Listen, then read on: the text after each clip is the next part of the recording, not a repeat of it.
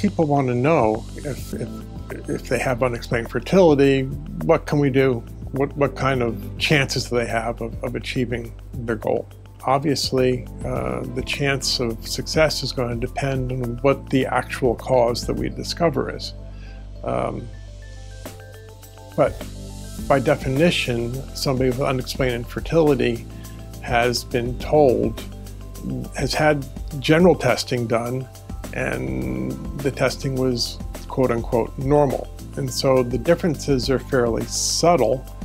And um, once we find those differences and respond to them, um, these people should have um, the best chances of success in their age group. Now, um, I say in their age group because somebody who's 25 is obviously going to have a much better chance of success than somebody who's 44.